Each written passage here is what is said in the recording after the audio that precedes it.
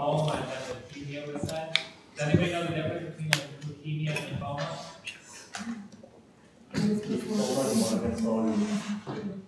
So these are terms that have to do with their clinical presentation. And we'll flesh out leukemia and lymphoma. We'll probably learn about five or ten different white blood cell cancers. What about diseases of the spleen? Do we know any diseases of the spleen? That's a trickier question, but the spleen generally does respond to all disease states the same way, and that's by enlarging, having splenomegaly. Anybody know any diseases of the thymus? You leave the microphone.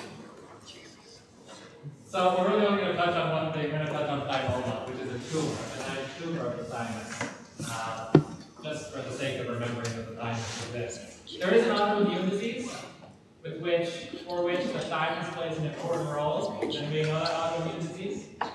Maybe somebody has a grandparents and non Myasthenia gravis. Have you heard of myasthenia gravis? Well, we'll hear about it soon enough. And a lot of these patients are treated by having their thymus removed. I did not. There was a, there was a, a request in the last lecture to put in table of contents. I think that is a good request. And all of our spring lectures come with table contents. What I did instead, I'm going to try to do two birds with one stone, and I'll try to do this uh, for all the lectures. The material that we're covering, this isn't like material I'm. Like this is very standard material that students learn. There's a very good textbook, Pathologic Waste Disease Robinson It is this textbook, I believe it's the fifth or sixth chapter, that we used when we took the neoplasia genetic course.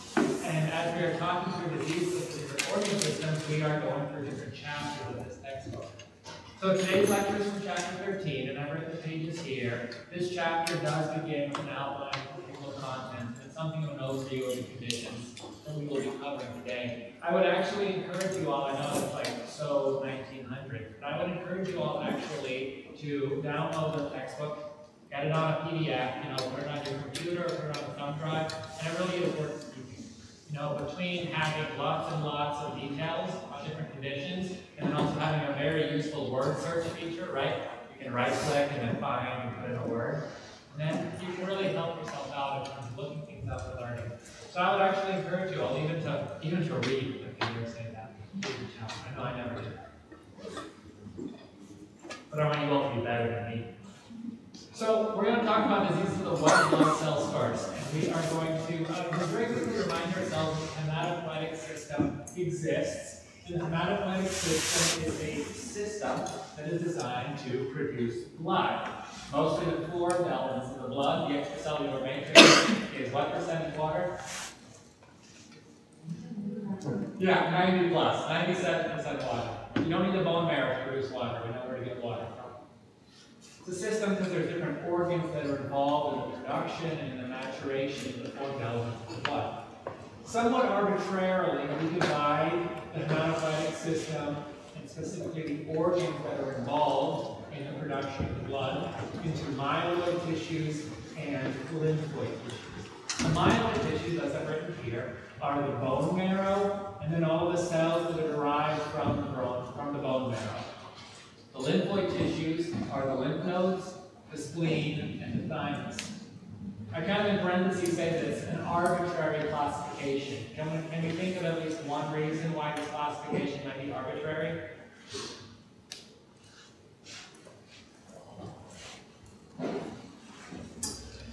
So lymphocytes would correspond to which of these two? Lymphocytes. Would those be associated with myeloid tissues or lymphoid tissues? Yeah, we need to sort of guess that, right? Without the, that's actually why we're guessing that. Where do lymphocytes come from? Where do baby lymphocytes come from? Yeah, the bone marrow. That's what the B stands for, T cells. What does the T stand for? Thymus, yeah. So it's something of an arbitrary classification. But it's helpful for understanding certain disease states. And when we get to cancer, the white blood cells, we're going to break them down into myeloid neoplasms and lymphoid neoplasms. We're actually not going to break them into and lymphomas. It's very important to understand the role of the stem cells, the role of stem cells in general.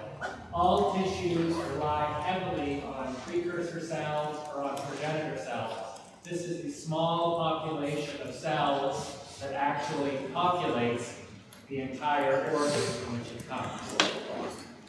And so hematopoietic stem cells are important. And when we do a bone marrow transplant, it is these cells that we are transplanting. If somebody has sickle cell anemia, it is because a stem cell at the very top, or the early progenitor cell that is responsible for making red blood cells, it is because it has that mutation in hemoglobin B.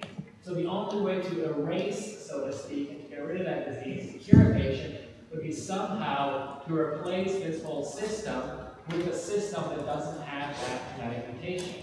And you do so by blasting one's existing bone marrow with chemotherapy and radiation therapy, basically putting heavy weaponry and artillery towards it, eliminating all the stem cells, and then when the person's at their nadir, and if they have no stem cells, then you engraft someone else's bone marrow. You call that a bone marrow transplant or a HSCT, hematopoietic stem cell transplant.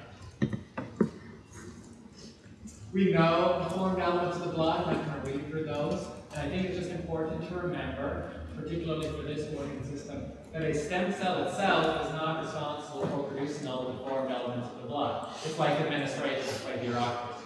Like every every important person has like a few people underneath them to actually do the work for them. And then you want to find out what that person does, and it turns out that they have people underneath them. You're like, who actually does any work? Then, so hematopoiesis, as a reminder, occurs differently in different ages. There's fetal, infant, and adult hematopoiesis. By the way, the room in this darkness is okay with me. Is it okay with you all? Yeah. I also have no idea how to turn the lights on. Embryogenesis begins during the third month of, oh, I'm sorry, embryogenesis. Hematopoiesis begins during the third month of embryogenesis. And this begins in the liver. So hematopoietic stem cells migrate to the liver. And this is where hematopoiesis occurs until probably non-birth. If we think back to some of our previous lectures, the liver can get abnormally large during certain anemic states. What do we call that when the liver is abnormally large? Hepatomegaly. Well, not speaking of. Hepatomegaly. That is good. Yeah, the liver, just like the spleen, for example, are able to awaken these desires, these abilities from early on to produce uh, bone marrow. Hematopoietic stem cells also reside in the fetal placenta. We don't actually know why in terms of a functional contribution, but this is particularly useful in terms of harvesting hematopoietic stem cells that can be used for therapeutic purposes for other individuals. Hematopoietic stem cells also begin to migrate the bone marrow during embryogenesis, and by the time the individual is born, the marrow throughout the skeleton is active in a hematopoietic sense. After puberty, we restrict hematopoiesis to the axial skeleton. I got a little image here. The bones in blue are the axial bones. What are the bones in white? Appendicular, yes, axial. When I say that after puberty, hematopoiesis is restricted to the axial skeleton, you can know which bones are about.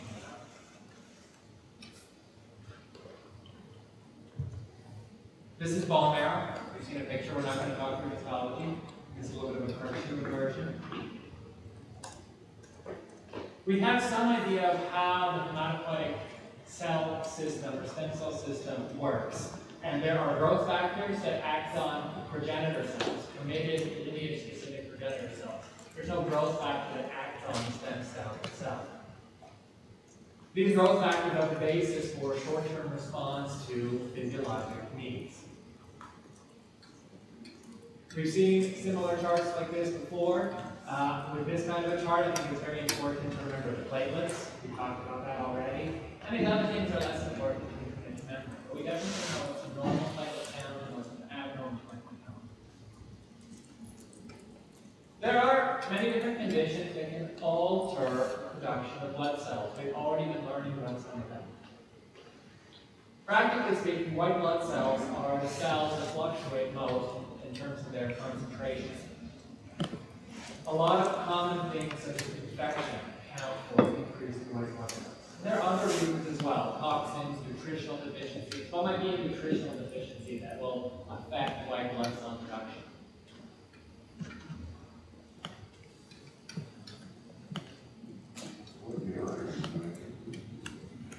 Why wouldn't it be iron? Although we have learned about iron deficiency.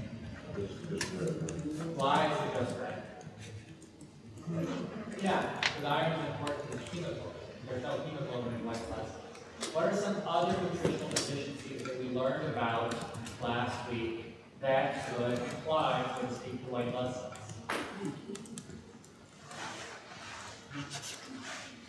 What are some other anemias we learned about? We learned about iron deficiency Vitamin B12 deficiency anemia, and what else? Folate, yeah. So folate and vitamin B12 deficiency are examples of deficiencies that can result in leukopenia. And then tumors, of course. You have something growing in your bone marrow, or if you have some kind of tumor that's affecting normal uh, hematopoiesis, that can result in changes in blood vessel number. When we talk about problems or diseases of the white blood cells, we generally classify them into leukopenias or leukocytosis. And this depends on whether there's a relative deficiency or there's an overproduction of white blood cells. Let's first talk about neutropenia. Neutropenia being a deficiency in circulating neutrophils. We should know this number, 1500. There's some numbers we should know, some numbers we shouldn't. You really shouldn't have to go back to a book find out what is a bad absolute neutrophil count. Even though I can see that you will not be looking at that laboratory value on a regular basis. That is definitely something in terms of normal basic health that you want to know, just so you know maybe what's an average weight, an average height, an average BMI. You may probably to take those this either in your office. Neutropenia is an absolute neutrophil count that's below 1500.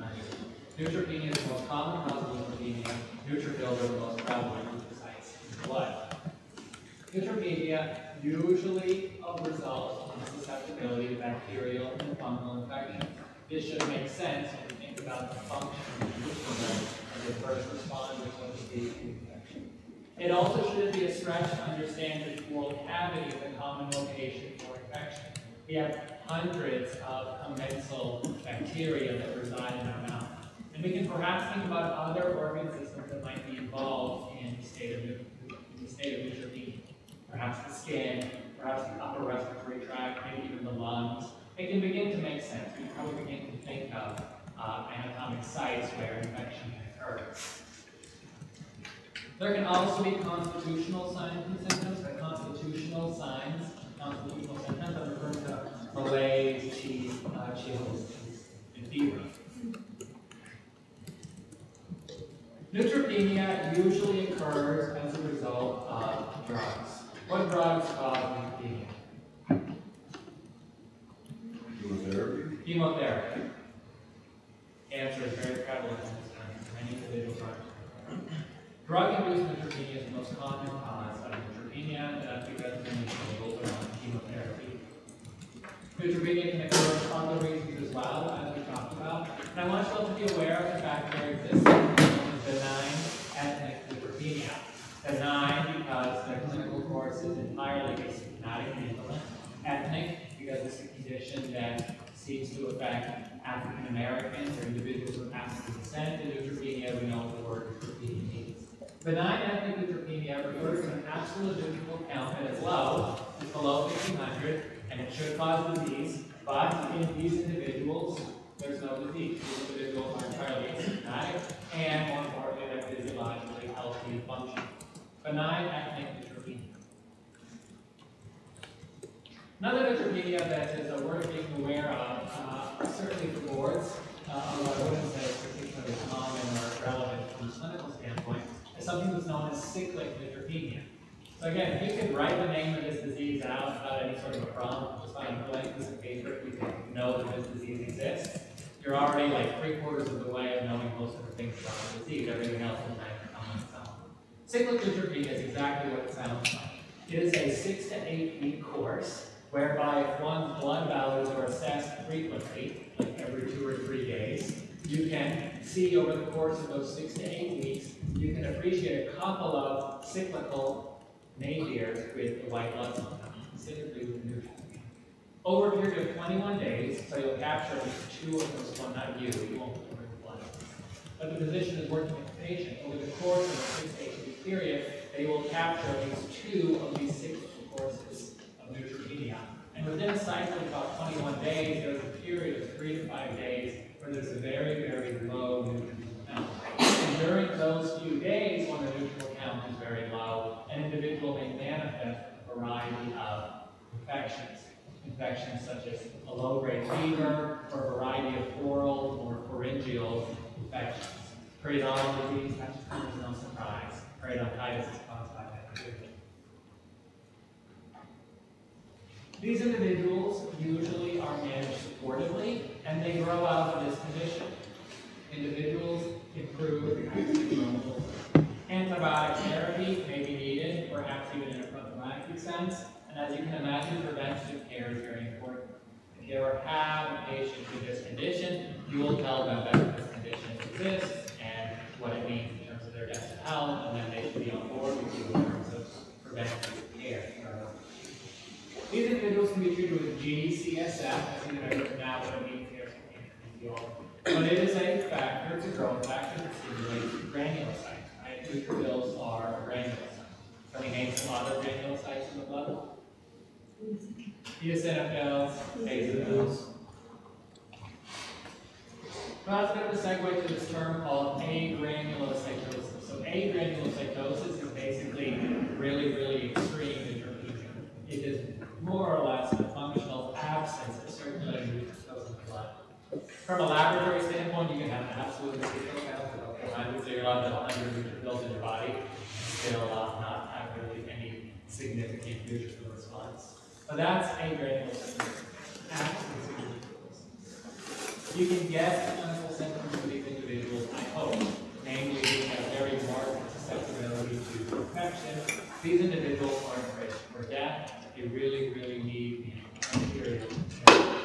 The most common cause of agranulocytosis is chemotherapy. It is what we do from a healthcare standpoint to try to cure our patients of disease. There are other medications that can result in agranulocytosis as well. Practically speaking, what happens, and maybe we learned about this in the later course last fall, but we will bombard our individuals with chemotherapy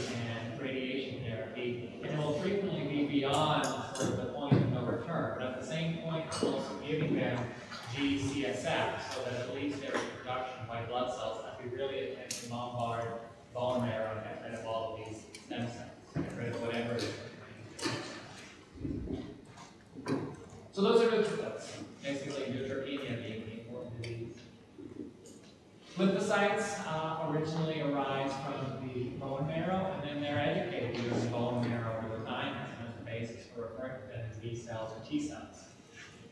We know about lymphocytes, I won't read the rest of this slide to you all. We also have learned about lymph nodes. I'm sure Dr. Handler has drawn something, and now we're experts on lymph nodes. And this is just a little bit of a reminder for you all. Probably the most clinically uh, frequently encountered uh, condition of lymph nodes is lymphadenitis, which simply means inflammation of the lymph Lymphadenitis is common. You will identify lymphadenitis in maybe 15 or 25% of your patients when you do your routine 60 or 90 second head of the patient work. You will frequently identify it. It's not going to look anything like that. That's just a picture attention. But that is an enlarged lymph node. Does anybody know what lymph node is enlarged there? Not a retroauricular, all of them fine. Some individuals going to be a little bit forward. What are these lymph nodes called? Yeah, this is cervical. This is cervical. The most common lymph nodes that are affected by lymphadenitis are those in the cervical region, region those in the axillary or inguinal regions, and mesenteric Lymph nodes that are inflamed or enlarged in our part of the body, referring on the cervical it's usually due to a dental infection or a infection. And so frequently when you palpate somebody and, and, and they have a slightly tender lymph node, you'll ask them if they've been sick recently, and they go, yeah, I have. You yawn because you're tired. In terms of lymphadenitis, lymphadenitis, from a clinically, I would say, relevant standpoint, it can either be acute and non-specific or chronic and non-specific. By non-specific, I mean that you palpating a lymph node and asking a patient one or two triage questions to make sure that there's not something that requires an immediate workup. I'm referring to the fact you going through that process is not diagnostic. Like you're not going to end up diagnosing. Acute non-specific lymphadenitis is me go chronic non-specific lymphadenitis. That is by far a more commonly Chronic lymphadenitis, chronic non-specific lymphadenitis, is a slightly enlarged lymph. And it's slightly enlarged to the point where it's. Can you normally palpate lymph nodes? No. You can't normally palpate. So if you are able to palpate a lymph node, then it is enlarged.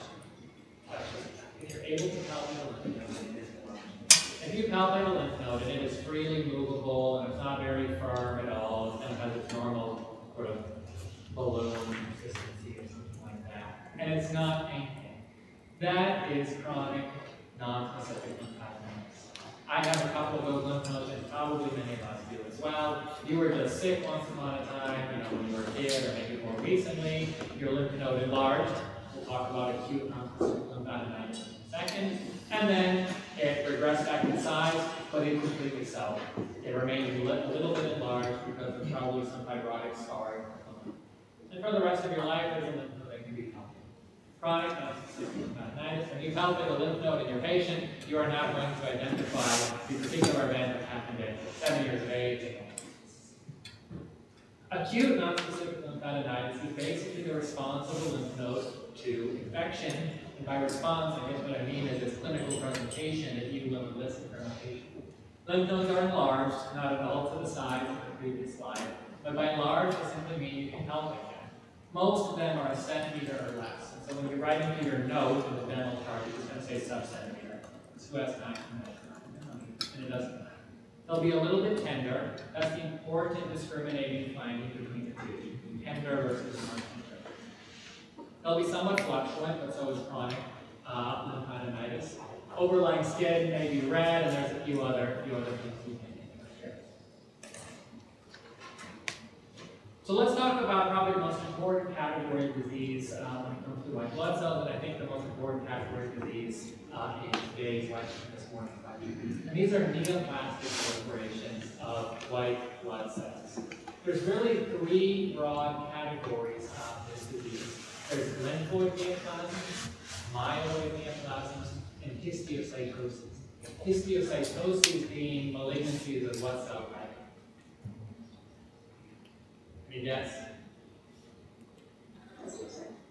Histiocytes. Histiocytes are a old word, like a, Dr. Cantor age word for what cell?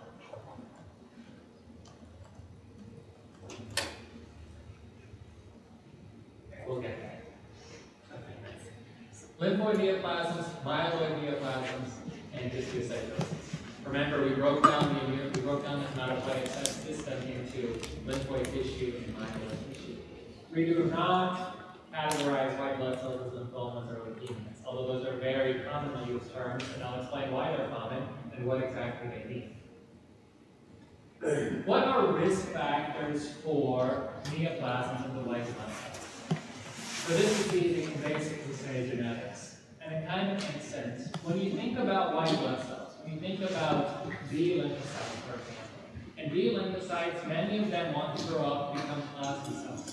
And they go through this process of somatic hypermutation. Remember? Somatic hypermutation. Have we learned about that? Somatic hypermutation?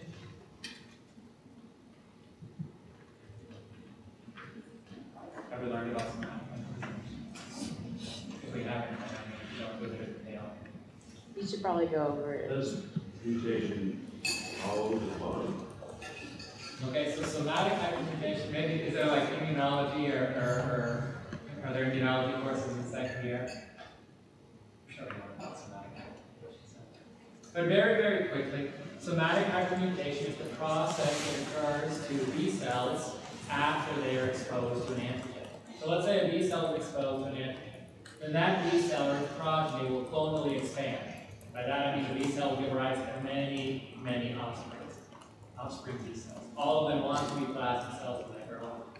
The component of the genome that is responsible for producing antibodies, that component is highly mutagenic and for normal physiologic reasons.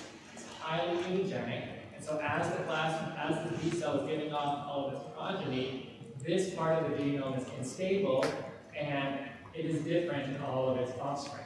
What that means functionally is that all of these B cells that arise from the same mama B cell, they all have slightly different antibodies with slightly different affinities for whatever the target antigen is. So all of this progeny, only the one that has the highest affinity for an antigen survives and becomes a plasma cell. And it's that B cell that then gives rise to the whole army or clone of B cells that goes after infection.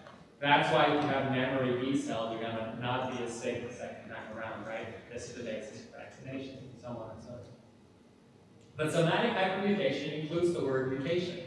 And we learned all about mutations, haven't last fall. And so just like mutations can occur in this physiologically very important region of the genome for creating a targeted immune response, you can imagine how a mutation might accidentally happen in some very important genes that play roles in cell stability. Can we remember any genes that are frequently mutated in neoplasia?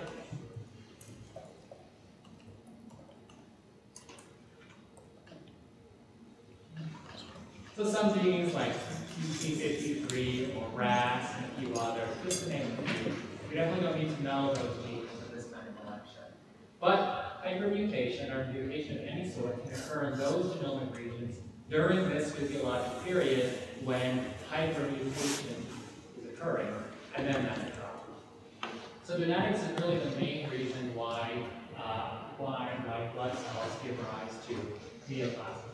There can be inherited genetic factors. There can also be viral infections. Why might viral infections be associated with white blood cell cancers? This process of somatic hypermutation of responding to an antigen, do you think that occurs more frequently or less frequently in the context of an infection?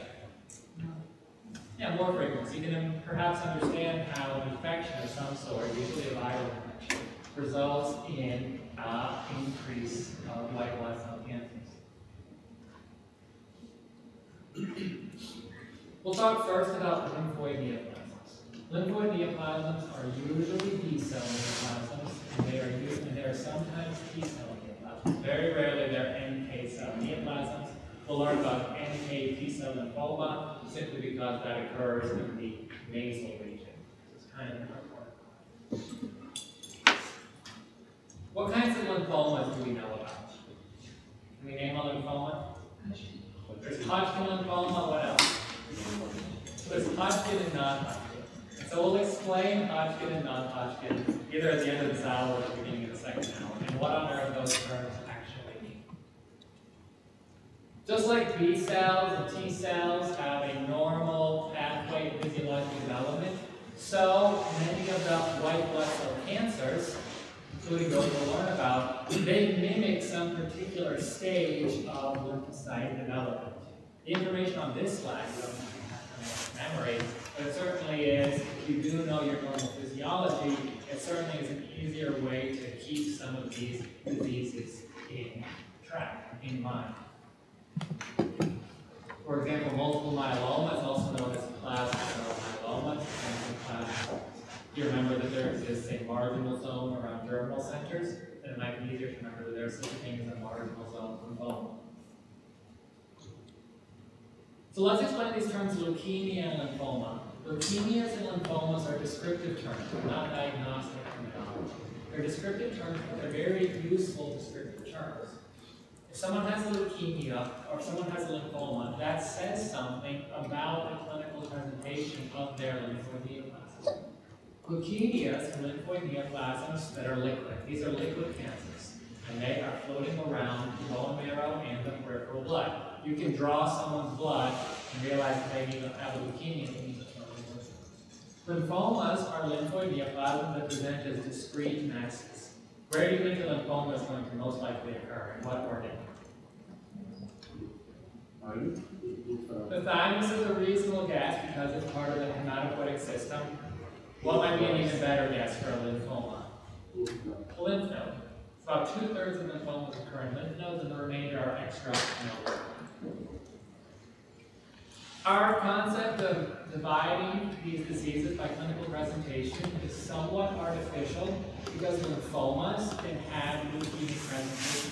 That is, at some point, this lymphoid neoplasm stops being a mass and it just has progressed to the stage where it's also a liquid. And the opposite is true, the same is true for leukemias. Leukemias can sometimes present as discrete masses, and that can even sometimes be the initial clinical presentation. So if we call a disease a particular type of lymphoma, like Hodgkin lymphoma, that simply says something about how the disease usually presents. So Hodgkin lymphoma usually presents as a discrete mass, even before you learn about the disease, we'll take a two-thirds guess that this is a mass that affects lymph nodes. We can think a little bit about the clinical presentations of the presenting complaint. If you have a Goomba growing in your lymph node or somewhere else in your body, there may be symptoms that are related to mass effect, right? Simply the effect of the mass compressing the esophagus or whatever. Leukemias will affect hematopoiesis adversely. And so there can be signs and symptoms related to anemia, thrombocytopenia, or. Multiple myeloma, particular kind of cancer, affects the skeleton. Maybe you can guess that by the name. If you took a multiple myeloma. So myeloma, maybe there are a bunch of omas that are affecting the myel region, right, the bone marrow region. And there's multiple of them throughout the skeleton. And so we can, even now, we can think of, of some of the clinical presentation. We get to slides soon enough. How do lymphoid neoplasms typically present? I know we're sort of having a lot of introductory slides, but these are concepts that are worth knowing. Most individuals with lymphomas experience what are known as B symptoms. B symptoms. The B symptoms are fever, night sweats, and unexplained weight loss over a six-month period or so. All malignancies can metastasize, and you can maybe even guess somehow how malignancies from the hematopoietic system are particularly prone to metastasize because the hematopoietic system uh, is responsible for circulatory system better. And so lymphomas, even these tumors that present as discrete masses, they frequently spread out and spill out into the peripheral blood early in disease course. We have a particular way of staging lymphomas one through four based on the extent of disease. We also want to know whether or not B symptoms are present and whether or not extranodal sites are involved. Considering the early propensity for cancer spread, what treatment modality is almost always used in lymphomas? And this will be the same treatment modality that we see in leukemia. If you have cancer circulating all through your blood, bloodstream, what are our three treatment modalities for cancer? Chemotherapy, radiation therapy, and surgical therapy, right? Is surgical therapy going to work if your cancer is floating around the bloodstream? What about radiation therapy? Yeah, we can do better than try something whole body, although we do that for 95%. So chemotherapy is an essential mechanism of cancer treatment for these patients. So let's talk about our first lymphoid neoplasm. Our first one is helpful for underscoring the point that I've elaborated already. This is called acute lymphoblastic leukemia, and it's also known as acute lymphoblastic lymphoma. What do you think that means about the disease presentation? It simply means that this lymphoid neoplasm is just as likely to present as a Goomba somewhere as it is to present as a liquid cancer that is all throughout the bone marrow and the peripheral blood. So that's why it has either one of these. Fortunately, leukemia and lymphoma begin with the same letter, so you can just abbreviate this uh, as ALL. This is the most common cancer of children.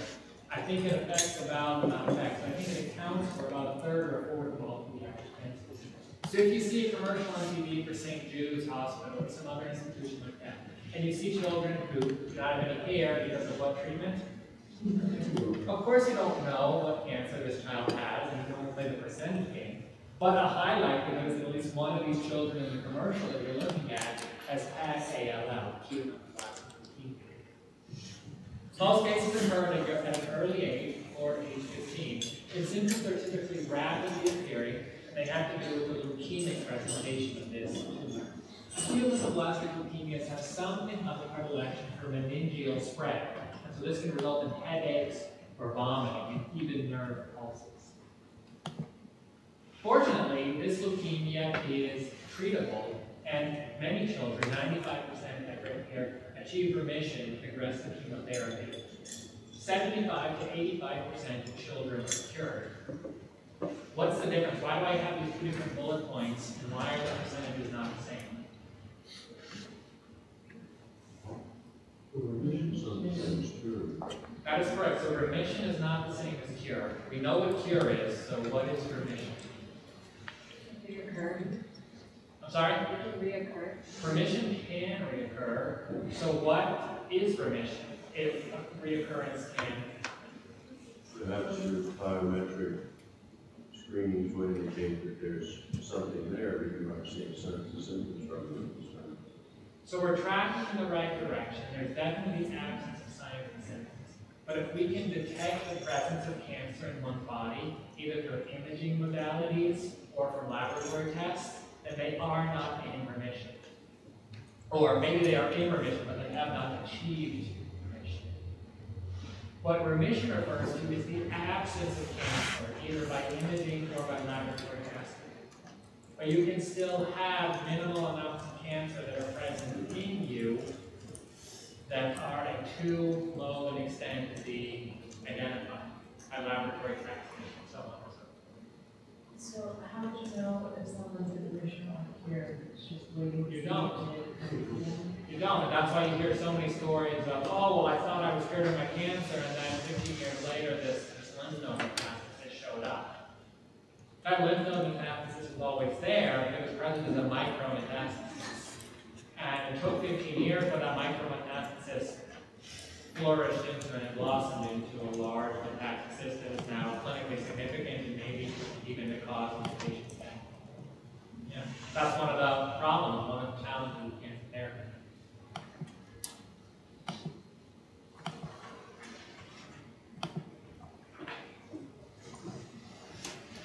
Next cancer we'll learn about is chronic lymphocytic leukemia or small lymphocytic lymphoma. Again, it can either be leukemia or lymphoma in terms of its clinical presentation, but this is the same disease. The, the scatter plots on the right, this is a process that's as flow cytometry. It's a way of diagnosing leukemias, and you don't need to know any more than that. CLL, I'll just refer to as CLL. CLL is the most common leukemia of adults in the Western world. Are you going to see it particularly frequently? You're not going to see it all as frequently as you see dental care. So do you practice in the Western world? Yes. Will you be treating adults? Yes. CLL is the most common leukemia of adults in the Western world.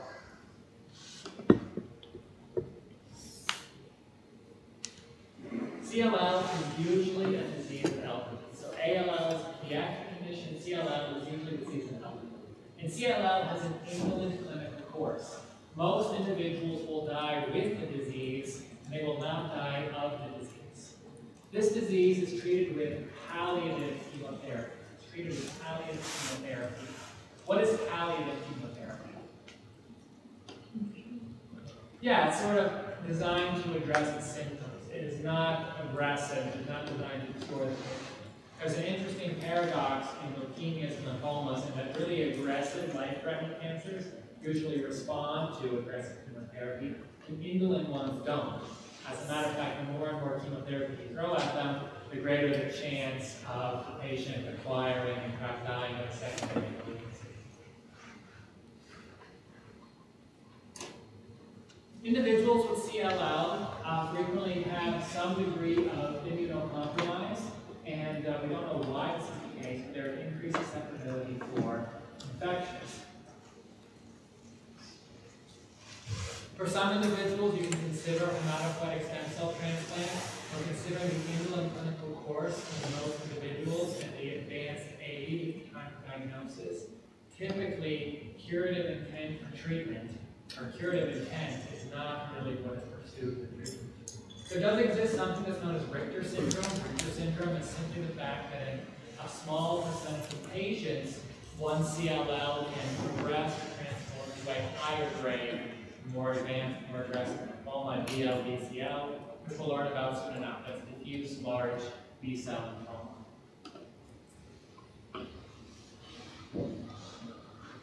Many chemotherapy regimens that are designed to treat patients with leukemia or lymphoma, they include a drug that's known as rituximab.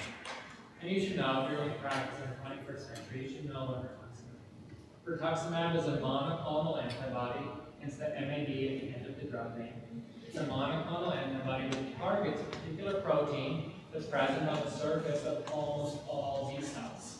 That's a pretty nifty target. So if you design a drug, drug you administer a drug that targets this protein that's present on B cells, it holds promise for treating individuals with B cell cancers. What is going to be a very expected side effect of rituximab?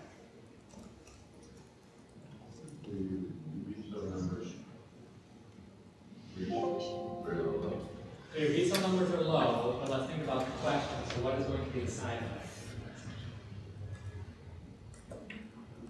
the? Susceptibility to infection. Yeah. Next lymphoma we're going to learn about is something known as follicular lymphoma. The name follicular simply uh, has to do with how this cancer looks like under the microscope. If you look at the top right, there are these bubbles or follicles of cancer cells that are present in the lymph. Follicular lymphoma is one of the more common lymphomas. It is usually an indolent lymphoma. So that being it's indolent lymphoma. There really do not exist any good curative approaches. Patients are treated with palliative chemotherapy, and the disease will pursue a waxing and waning course over many years, and eventually individuals, many of them will succumb to this disease. The way that individuals succumb to this disease is the fact that over time, about half of patients, this disease progresses to a high-grade lymphoma, diffuse large B-cell lymphoma. At that point, it's really only a year or so left prognostically in their lives. So let's learn about diffuse large B-cell lymphoma. Diffuse large B-cell lymphoma is an aggressive lymphoma. It's one of the most common types of lymphomas, and it's also the most common CZ oral cavity. That sounds like. Diffuse large B-cell lymphoma. It is an aggressive B-cell lymphoma, one of the most common. It can present either nodally or extranodally, hence its propensity to affect the oral cavity.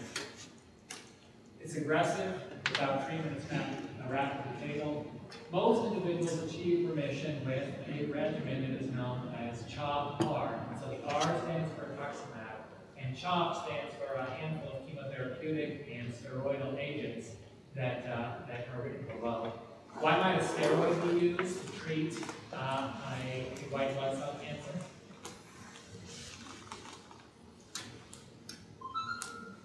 If you have an autoimmune disease, what drug are you taking?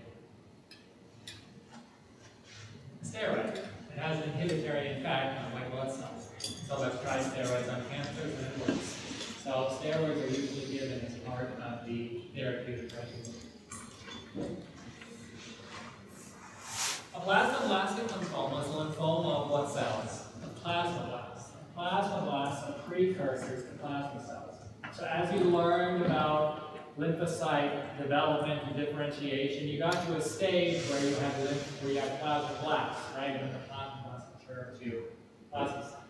Plasmablastic lymphoma is a white blood cell cancer of cells that genetically and functionally physiologically are at the stage of plasmablasts. And if you look at these kinds of things under a microscope, they would look like plasmablast to you. Since you guys don't do that, you just have a second that you won't look at more than a second. Plasmablastic lymphoma is a highly aggressive type It's usually seen in the HIV AIDS setting, sometimes in the settings of other types of immunosuppression. There's a really striking male predilection. It's usually occurs in middle age. This is really the age range of untreated advanced HIV infection. And it's almost always associated with infection by Epstein-Barr virus, EBV. The most common anatomic location in the whole body to the mandible. These can also occur in the gastrointestinal tract as well, but the oral cavity is the most common complication from left lymphoma. All right, questions for the integrated boards, but it sounds like a great kind of a question to write, but all these, all these like, uh, you know, you know, things to think about, you know, if cancer presents, what disease might have, and so on so with this and, decreased large B cell I don't know, I don't know the statistics in terms of who these patients present. Uh, it's definitely possible that a dentist is being this and referring to oral surgeon, you know, the same day for biopsy, the same day for biopsy. Is a common of diagnosis. But these kinds of individuals may present to their primary care, or if they have something that's not bad looking, and they present to an ENT surgeon. There's a lot of different ways, yeah.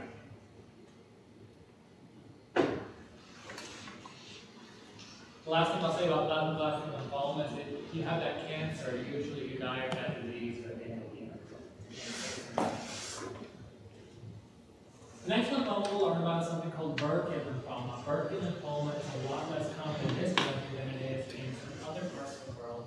We're going to learn about it for a couple of reasons. Uh, Burkitt lymphoma is extremely, extremely, extremely aggressive, which also means that it does respond fairly well to aggressive. But it's extremely aggressive. It's a fast cancer. Here's our picture of Usain Bolt in the top left. And it occurs in three clinical settings. The most important clinical setting is African or endemic clinical setting. This is highly associated with Epstein-Barr virus. Burkitt lymphoma has a very striking tendency to involve the mandible. It's one of the reasons why we're learning about it, another reason is because it's so aggressive and because it's a fastest growing thing. Burkitt lymphoma can also occur in the HIV setting, basically in an AIDS setting, and can also occur sporadically Burkitt lymphoma, way more common in Africa and other parts of the world than in the US. This was a case that was shared with me by a colleague who was on a mission trip in Africa, and I don't know the final diagnosis, we don't know the final diagnosis. We can bring some top-down knowledge to this three-year-old female with three-month history of progressive jaw swelling, at the clinical the imaging, and think that this is probably a Burkitt lymphoma. One thing I forgot to mention in the previous slide is that Burkitt lymphoma in African or endemic setting, it usually occurs in this age range.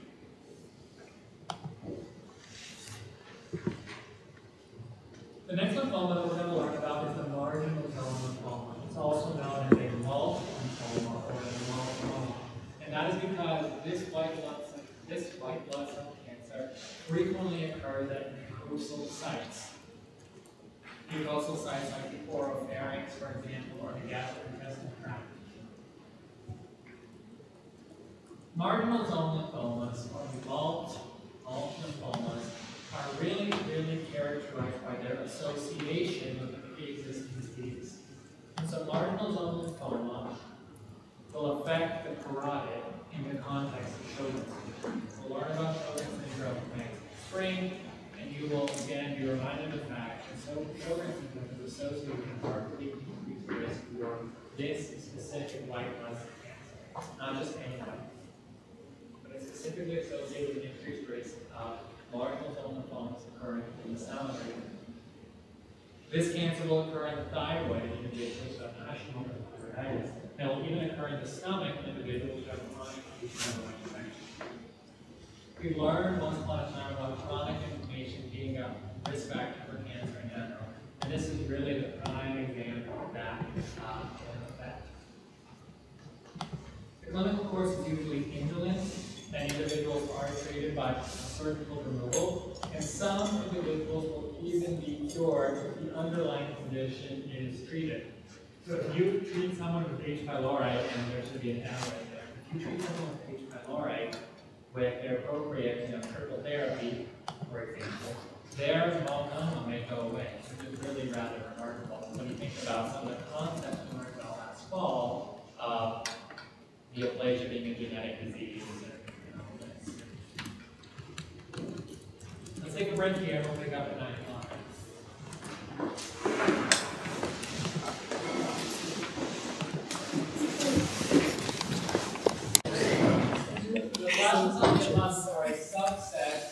Uh,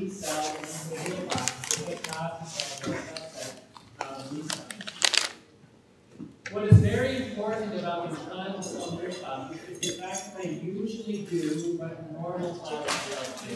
That is, they secrete an immunoglobulin or immunoglobulin fragment. This is relevant both diagnostically and clinically. Diagnostically, because the presence of abnormal immunoglobulins be detected, and clinically, because their excess presence in the bloodstream and in peripheral tissues can cause symptomatic problems.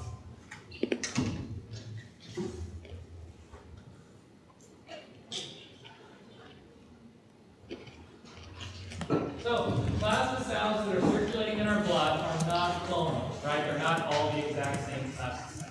But if you have a plasma cell neoplasm, if you have a plasma cell cancer, that whole cancer, however large it is in the body, is derived from one plasma cell. And so that means that every single one of these cancerous plasma cells has basically the exact same DNA. Does that mean that these plasma cells will all secrete the exact same immunoglobulin if they have the exact same DNA? They will.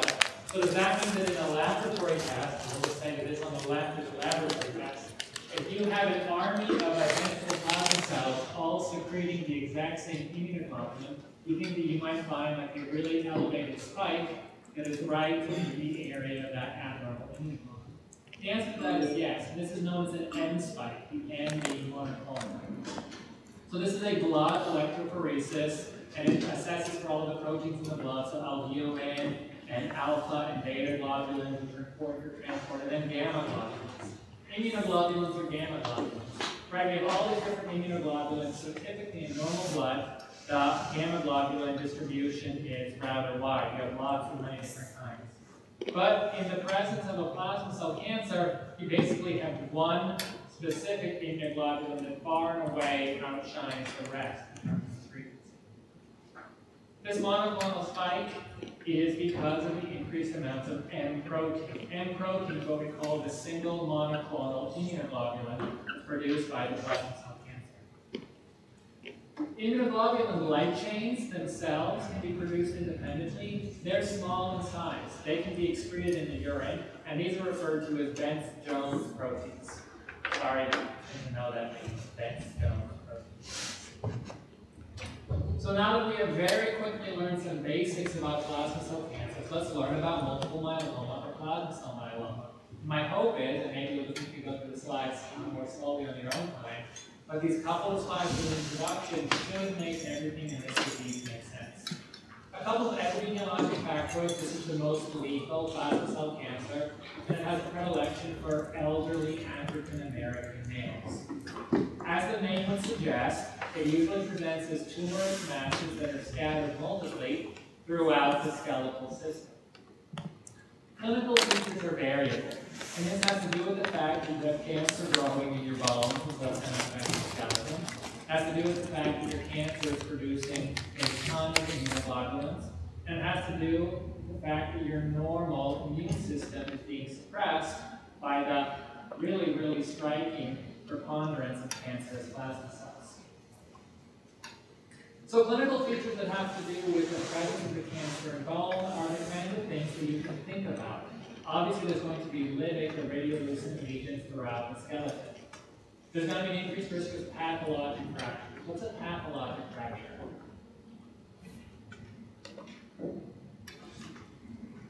So pathologic fracture is a type of fracture. If you're playing basketball and you fall and you break your arm, that's a fracture because you broke your arm.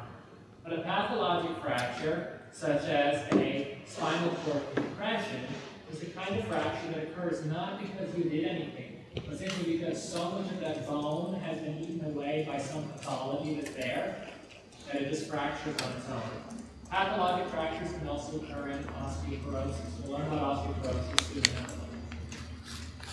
Multiple myeloma is characterized by too much calcium in the blood. That may that should make sense because the skeleton is a calcium reservoir. As the cancer is metastasizing and growing in the bones, it is spilling all this calcium into the bloodstream. And there's going to be normal hematopoietic suppression.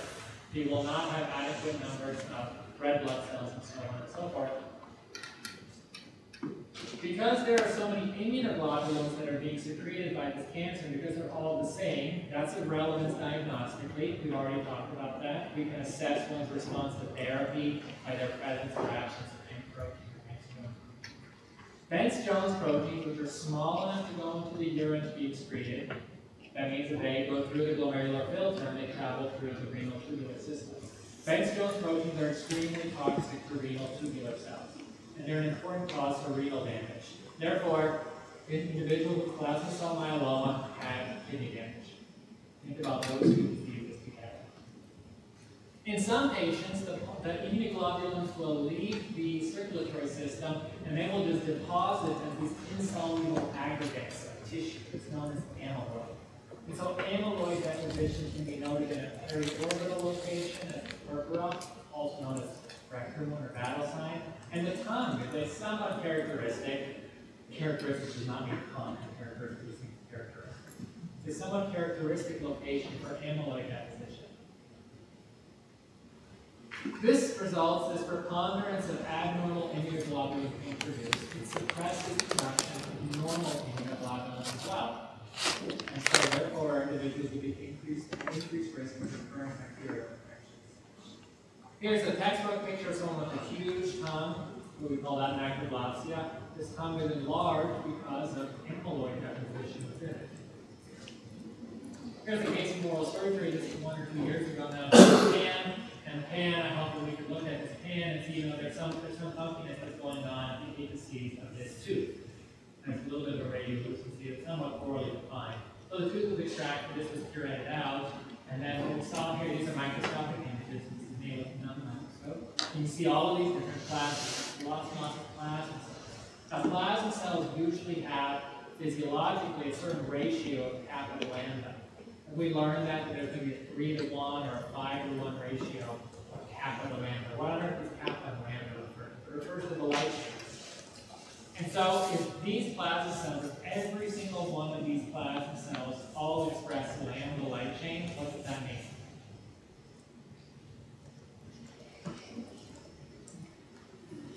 Does this mean that these are all identical plasma cells, or does this mean that we're looking at an above proliferation of physiological plasma cells? Yeah, if these were physiologic plasma cells, we should have a sprinkling of both kappa and lambda, and the SS cells. So this is an example of multiple myeloma. And this individual, after a model change of variable bones, as is typically seen in multiple myeloma. How do we treat these patients? Uh, it's difficult to treat these patients. High-dose chemotherapy uh, is the way to go. Individuals can tolerate a bone marrow transplant. That is a. Five-year overall survival is about 50%, and survival rates depend on a whole lot of state You won't get it but 50% five-year overall survival. On occasion, individuals will present with a solitary lesion without any other skeletal involvement or serologic result. And we call that solitary plasmacytoma. Sometimes a solitary plasmacytoma will occur in the bone, as in the case of this uh, skull lesion, sometimes it will occur in the soft tissue, as in the case of this lesion. Some of these individuals will progress to multiple myeloma over the next five years. Before we leave uh, plasma cell and multiple myeloma altogether, I think it's worth uh, being aware of the existence of a condition that's known as MGUS. MGUS standing for monoclonal gammopathy of unknown significance. Gammopathy simply refers to this finding that if you have a plasma cell cancer, you have an abnormal production of a one immunoglobulin in particular. So monoclonal gammopathy, unknown significance. Monoclonal gammopathy unknown significance means that serologically an M spike or a monoclonal protein has been identified when an elderly patient goes in for routine blood work. But upon further workup, there are no other findings suggestive of plasma cell or multiple myeloma. Multiple myeloma. Patients are entirely asymptomatic. So there's absence of CRAB features. And can maybe think about CRAB when you're thinking about signs and symptoms of multiple myeloma. Hypercalcemia, renal insufficiency, anemia, and bowel lineage. And there's no findings anywhere. Nothing in the urine, a bone marrow biopsy is negative. However, there is clearly some kind of a neoplastic proliferation of plasma cells, otherwise we wouldn't need a very small insect. We call this condition MGUS. It's present in three percent of the population above age fifty, and it's present in five percent of the population above age seventy. That's common, that's prevalent. About one percent of individuals with MGUS a year develop multiple myeloma or some other cell. We do need to talk about amyloid very quickly. We have learned about amyloid deposition now ever so briefly when we consider the fact that immunoglobulins can just deposit in the tongue or in joint spaces as this amorphous, poorly degradable substance that persists. Amyloid is this proteinaceous substance that is poorly degradable. Amyloid is not caused by any one protein. Amyloid is not caused by immunoglobulin. Always. It can be, but can be caused by about 20 other proteins which are known to have the same tendency to deposit in an insoluble fashion. They deposit in a very particular way across beta single sheet information. If you're on a data, you want to press them by hand. The point being that this is a poorly degradable solution of these. Amyloidosis is like this whole category of disease. The amyloid deposition can occur in a few different points. It can occur systemically, it can occur in a localized setting, and it can occur in a familial or a hereditary setting. We won't say anything about that. For localized amyloidosis, I'll just point out you a few different anatomic sites between the heart and the tongue where amyloid deposition is somewhat relatively common. Systemic amyloidosis frequently occurs in the setting of multiple myeloma or some other cell disorders. We call that primary amyloidosis. Amyloidosis will also occur secondary to a chronic inflammatory condition, like rheumatoid arthritis. We call that secondary. Amyloidosis, reason, can also occur in the setting of hemodialysis. That is increasingly less common because of new and improved filters that are used during hemodialysis. So these are our B-cell lymphomas, having part per minute in plasma cell. Now we're going to just talk about one NK or T-cell lymphoma. The point is just to know that NK and T-cell lymphoma exists, to know that it's aggressive, to know that it occurs in the nasal region, and aggressive lymphomas in the nasal region can perforate the hard palate and result in intraoral clinical presentation. That's really what you need to know about this. Are you going to see one of these in your career? You won't. You won't see one of these in your careers. You may see this in the board. And it's definitely worth, worth being aware of some of the lymphomas that occur that are not B-cell lymphomas. Before we entirely wrap up lymphomas, let's talk about Hodgkin lymphoma. Hodgkin lymphoma is a specific diagnosis, a specific type of lymphoid that has several unique characteristics. For starters, it has this interesting way of metastasizing from one lymph node to the next lymph node. It almost goes like, you know, like the mailman going down the street. The other thing that's interesting about Hodgkin lymphoma is that the actual lumba, the actual enlarged lymph node that an adolescent male, for example, almost all of that enlargement is just normal inflammation. The cancerous cells, you can see these so-called alloids right in the middle here, these are the tumor cells. And these tumor cells, these cancer cells, have such a remarkable ability to recruit normal inflammatory cells that even though the cancerous